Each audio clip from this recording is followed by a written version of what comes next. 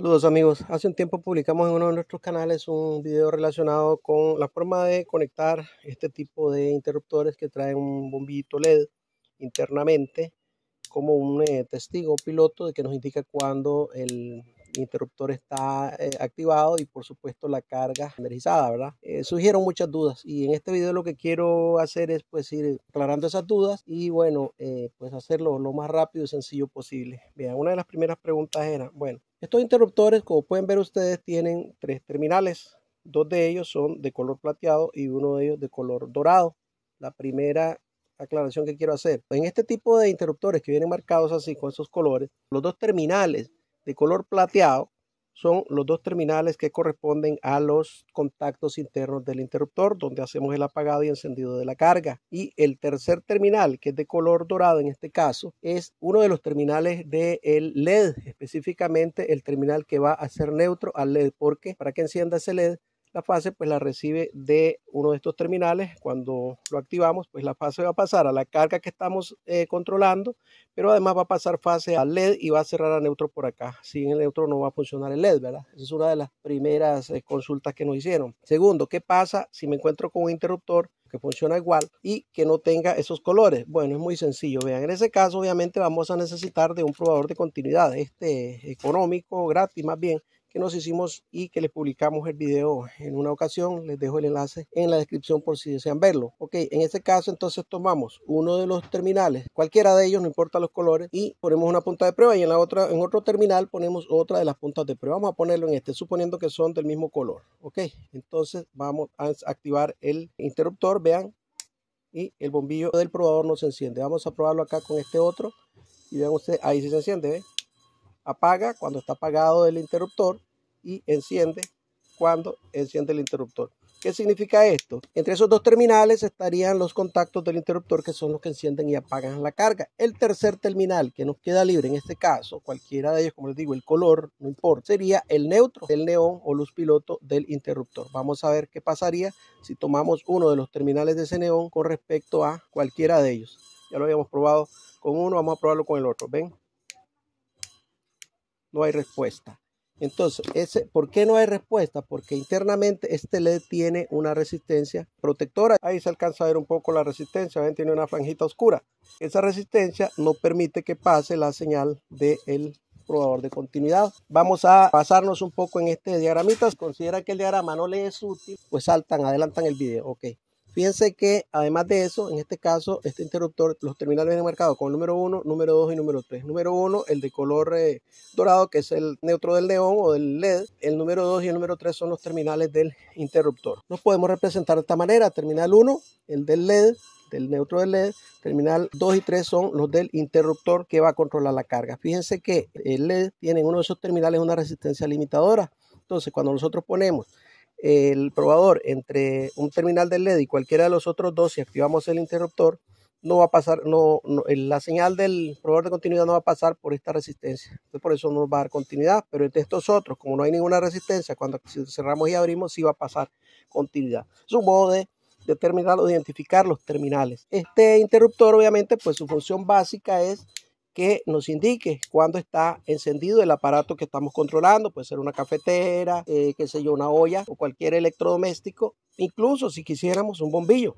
pero bueno, debería que hacer alguna adaptación, pero bueno, sí, es lo que nos va a indicar básicamente es cuando le está pasando energía a la carga que estamos alimentando. Entonces, ¿cómo se hace la conexión de este interruptor para configurar el circuito eléctrico donde vamos a incluir la carga, el interruptor y una fuente de alimentación con que vamos a hacer funcionar el circuito. Vamos a ver entonces, fíjense, un cable con dos espigas, está dibujado acá el cablecito, el conector con dos espigas y tiene ah, en su interior dos cablecitos que vienen a salir acá. Ok, estos cablecitos vienen a salir aquí, ¿lo ven? Entonces uno sería la fase y el otro sería el neutro. Entonces la fase la vamos a conectar a uno de los terminales del interruptor. Vamos a conectarla al número 3. Aquí tenemos ya la fase al número 3. En este caso, si estamos utilizando un bombillo, que es el que vamos a utilizar acá, fíjense que el bombillo tiene dos terminales, dos cables. Es este bombillo que tenemos acá que representa la carga, dos terminales, dos cablecitos, uno a cada lado. Entonces, el segundo terminal del interruptor, no el del, no el del LED, que ya sabemos que ya lo identificamos, el segundo terminal del interruptor lo vamos a mandar al bombillo, en este caso, que sería un retorno al bombillo. Y el segundo terminal del bombillo, el segundo cablecito del bombillo, lo vamos a pasar directamente al neutro. Ahí tendríamos entonces el circuito que nos haría funcionar el bombillo. Cuando cerremos el interruptor, la fase va a pasar a través del bombillo, el bombillo va a cerrar a neutro y se va a encender. Ok, pero entonces, ¿cómo es que enciende el LED? Yo acá lo he representado de esta forma para simplificarlo, pero dentro lo que llevo es un resortito y unos platinitos, pero bueno, esta es la forma más sencilla de representarlo. El terminal que trae la fase, pues estaría aquí un platinito, un contacto dentro y otro que es el que va a llevar esa fase al, a la carga. Cuando nosotros cerramos este interruptor, estos contactos se van a unir los tres. Entonces va a pasar corriente al bombillo, va a pasar corriente también al LED a través de su resistencia limitadora. El LED sale al terminal que ya hemos identificado que es el, el, neutro de dicho LED. Lo vamos a pasar entonces directamente al neutro. Así. Cuando nosotros energicemos, se va a encender el bombillo, ya vimos cómo, pero también se va a encender el LED. Cuando nosotros apaguemos el interruptor, se va a abrir los contactos, se va a apagar el bombillo, se va a apagar el LED también. Ok, eso es básicamente el circuito. Eh, me preguntaban también que, bueno, ¿qué pasa si conecto la fase en el terminal 2 y no en el terminal 3? Eso es indiferente porque es corriente alterna. Otra pregunta que me hacían también, ¿puedo alimentar un, motor, por ejemplo, una bomba o una máquina con este interruptor? Sí, básicamente sí. La verdad es que para eso está hecho. Es un interruptor, habría que adaptarlo obviamente al punto en donde lo vamos a instalar. Pero hay que tener en cuenta un detalle muy importantísimo y es la capacidad que tengan los contactos de soportar corriente. En este caso es de 16 amperios a 250 voltios de corriente alterna. Cuando vayamos a instalar un interruptor de este tipo, tengamos en cuenta ese detalle. Porque si el interruptor soporta menos corriente de la que la carga requiere, entonces cuando esa carga empieza a, consumir corriente, va, esa corriente va a superar el límite o la capacidad del interruptor y lo va a quemar, lo va a dañar, se derrite. Otra pregunta que me hacían, ¿qué pasa si yo conecto por error la fase en el terminal 1 donde está el LED y lo demás pues como está acá? Vean, aquí pueden ocurrir dos cosas. Una, que al estar la fase aquí, cuando cerremos el interruptor, esa fase va a pasar a través de la resistencia hacia la carga y esa carga iría al neutro. Una es que como la carga va a consumir corriente, esta resistencia difícilmente va a soportar esa corriente y se va a quemar o se va a quemar el LED. Ok, no van a soportar la corriente que la carga consume. Eso que quede claro. Entonces, eso es una de las cosas que pasaría es que se queme el LED. En ese caso se quema el LED, pero nos quedaría funcionando el interruptor y podemos seguir usando, pero ya sin el LED, con normalidad, pero sin el LED. Otra cosa es que pues la resistencia no permite el paso de, corriente más que unos 20 miliamperios, que es lo que consumen estos LED, 20, 19, 21 miliamperios entonces no va a ser suficiente para hacer funcionar la carga. Y aunque no se queme el LED, no va a funcionar la carga. Eso son las dos posibles situaciones que se darían si conectáramos la fase acá. Y una pregunta más que yo recuerdo es que me preguntaban que si, se me quema el LED, ¿puedo instalar una bombilla de neón? Yo les digo una cosa, un poquito muy difícil, porque habría que lidiar con el espacio y bueno, eh, es más el trabajo que vamos a hacer que el beneficio que vamos a obtener. En ese caso, si usted quisiera instalarle un bombillo de neón a un interruptor, pues yo les dejo en la descripción un enlace muy sencillo, muy sencillo, no, no lleva mucha cosa, pero en este tipo de interruptores pues un poquito más difícil.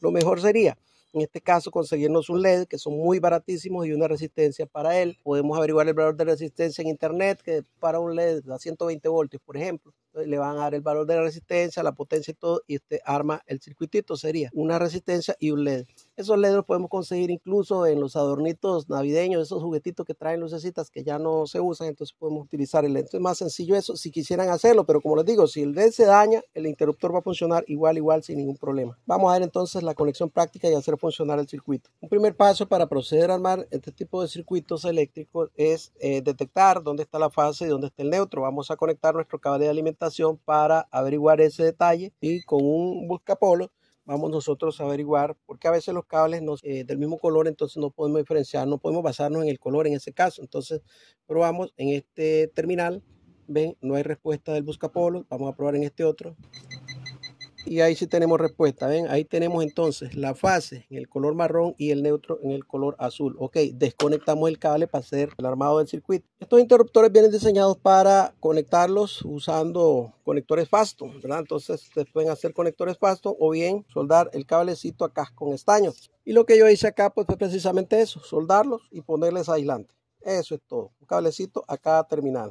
Según nuestro diagrama, la fase va conectada al terminal 3. Conectamos aquí entonces la fase y le ponemos aislante. Bien, aquí tenemos entonces la fase a uno de los terminales del interruptor y ya lo tenemos aislado. Okay. El terminal 2 en este caso lo hemos conectado a lo que sería el retorno, el bombillo. Ven, a uno de los cables del bombillo. Ven, aquí tenemos ya el terminal 2 a el retorno del bombillo y el otro terminal del bombillo, el otro cable del bombillo va a ir conectado directamente al neutro del cable de alimentación que como sabemos es el cable de color azul. Pero además si ustedes se fijan el neutro del LED o el terminal número 1 del interruptor iría a neutro también. Entonces vamos a conectar ese terminal 1 del interruptor, que es el del LED, se lo ponemos aquí también a neutro y le ponemos aislante. Y aquí tenemos la conexión que hemos reflejado en el diagrama, la hemos llevado aquí a la práctica. Vamos a ver, conectamos nuestro cable de alimentación al toma corriente, el interruptor está apagado, fíjense que el LED, pues obviamente en este caso no enciende, va a encender únicamente cuando yo encienda el interruptor y se encienda la carga. Vamos a ver. Ven, Ahí está el LED encendido, ¿lo ven? Y se enciende la carga. ¿Ven? Ahí enciende el LED, enciende el LED y enciende la carga. Apaga la carga, apaga el LED. ¿Qué va? Esto lo que nos va a permitir a nosotros es identificar cuando ya el circuito o la carga está recibiendo corriente. En este caso, pues les ponía el ejemplo de la olla o de la cafetera, pues nos va a indicar que la cafetera está encendida. Eso es básicamente el armado de un circuito con el uso de este tipo de interruptores. Y espero yo haber aclarado las preguntas que me habían hecho. Vean, voy a hacer otro videito más adelante sugiriéndoles cómo instalar esto ya en la cafetera, por ejemplo. Cómo instalarlo para eh, pues hacer la conexión y sustituir el interruptor que se haya dañado. ¿ok? De momento, amigos, yo espero haber respondido lo más rápido y claro posible las dudas pues, que tenían al respecto y les agradezco mucho pues nos hayan dado la oportunidad de hacer eso. Acá el diagrama, así un croquis, un borrador que es, eh, contiene la información básica necesaria para este tipo de conexión y pues pueden hacer una captura de pantalla si ustedes quieren, si lo consideran necesario. Gracias por su visita, por su like, por sus comentarios y por compartir nuestros videos para que más amigos y amigas se beneficien con la información que gustosamente les compartimos acá en nuestros canales de YouTube. Gracias a Dios. Que Dios les bendiga con salud, trabajo, paz, éxitos y mucha prosperidad, amigos, a todos ustedes en cualquier lugar del mundo donde se encuentren. Es nuestro deseo que todos ustedes se encuentren muy, muy bien. Nos veremos en el próximo video, si Dios así lo permite. Hasta entonces, muchísimas gracias.